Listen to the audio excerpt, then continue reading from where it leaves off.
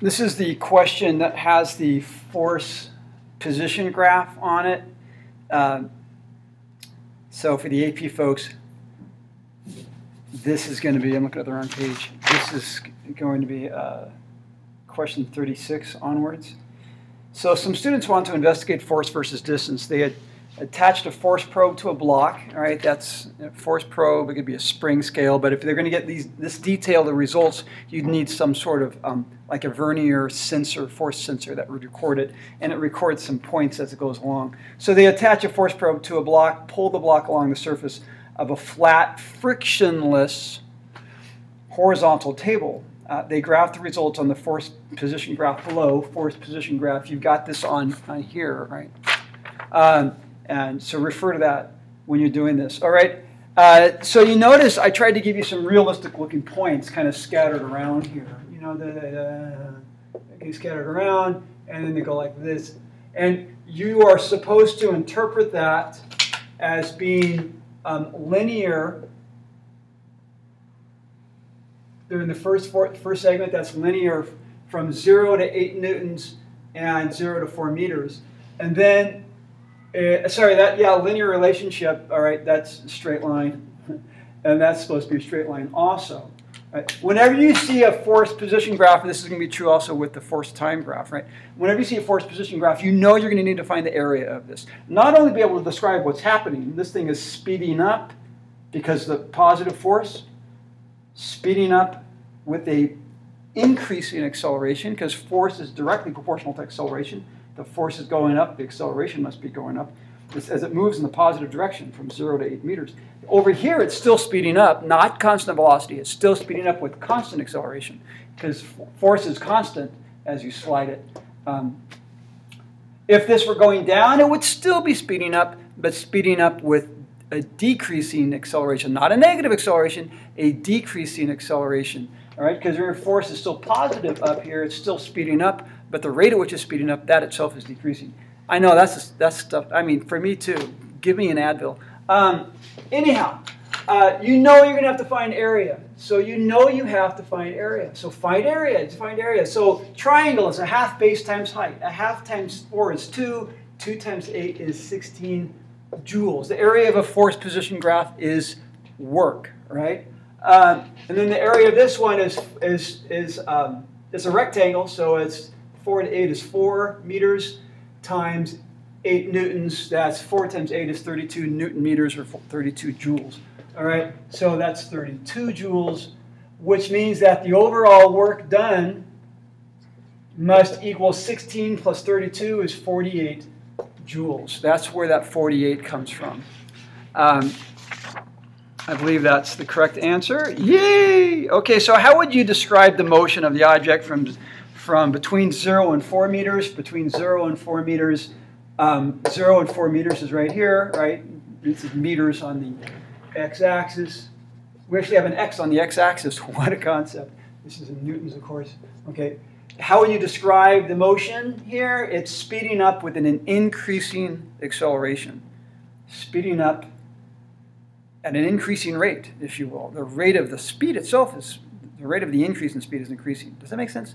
It's speeding up with an increasing acceleration. Um, how would you describe the motion of the object between 4 and 8 meters? I've already done that. Um, it's still speeding up, but it's speeding up with a constant acceleration. Yay. What would what is the approximate question 38? What is the approximate change in kinetic energy of the box over 8 meters from here to here?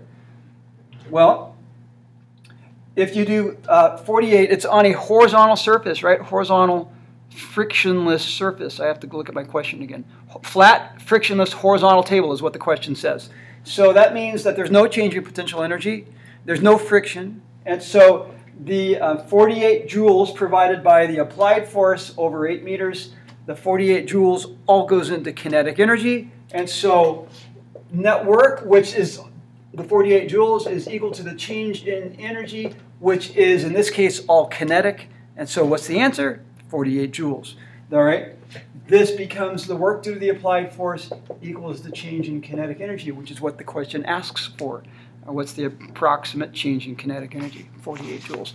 Okay, so the next question is over here, let me just make a little space. Uh-oh, we've lost our power, well, power cord, ha.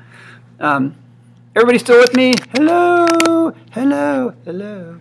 Um, so we're looking at this thing, okay? You have, uh, that's this one right here.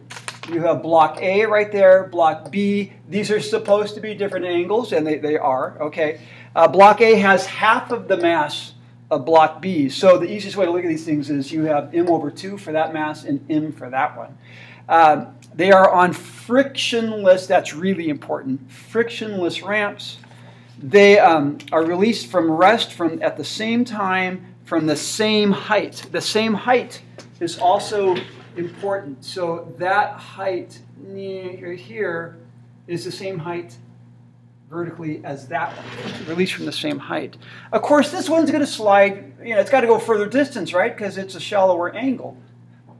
Further distance there. This one's going to go a shorter distance because it's a steeper angle. Okay?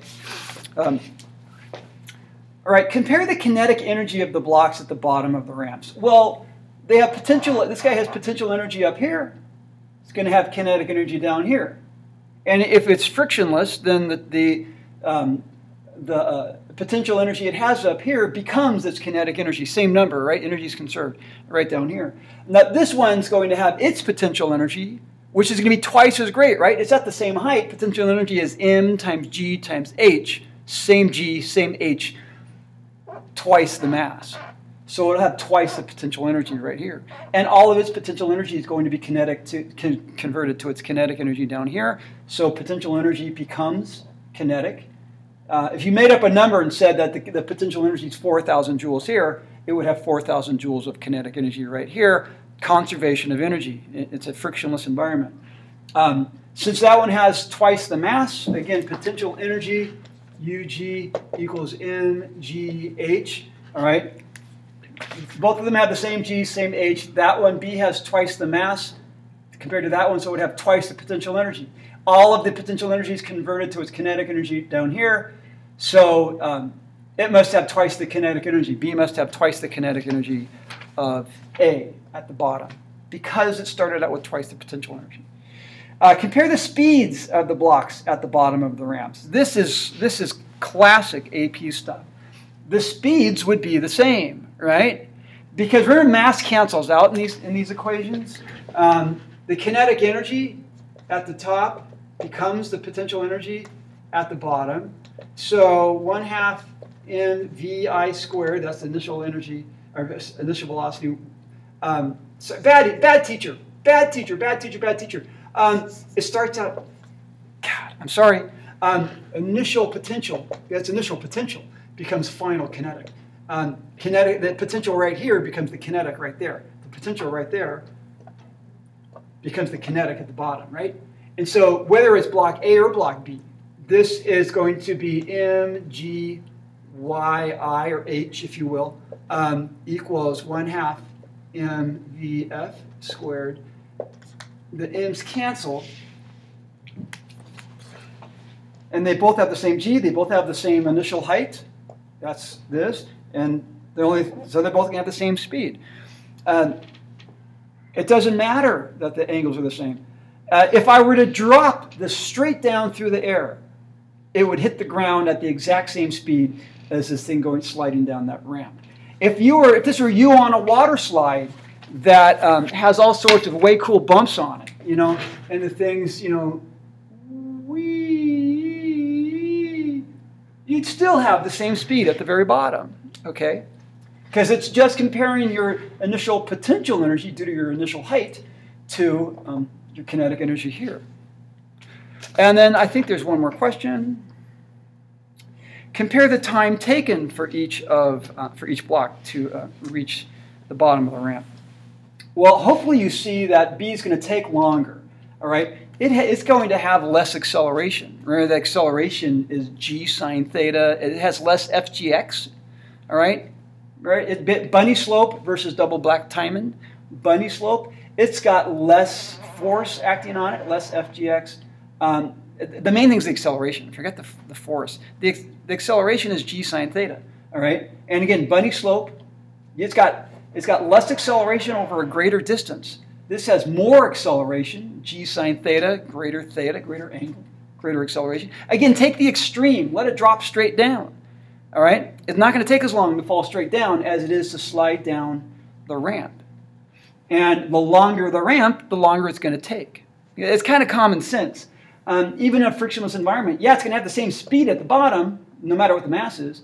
Um, the time's got nothing to do with the mass. The time has to do with the angle and the resulting distance it has to travel, and it's less the fact this has less acceleration. Less acceleration because it has a shallower angle. Again, think about bunny slope Bruce um, when you're skiing. Okay, bunny slope, less acceleration, but to get down the same overall height, you have to go a longer distance, all right, because you're taking a more gradual route. It's going to take a lot longer than if you go down the precipitous double black diamond. Ah! You're going to get down a lot faster, all right? Um, okay, so this one will take longer than that one. Again, that's nothing to do with speed. The speeds are the same at the bottom. It's got nothing to do with uh, height because they're at the same height. It has to do with this one has to go further, and it's going to do it um, with a lesser acceleration because it's lower angle. Well, that again was loads of fun. So is that everything? Time taking it? Yeah. Okay, so B takes more time than A. A takes less time than B. Okay, good.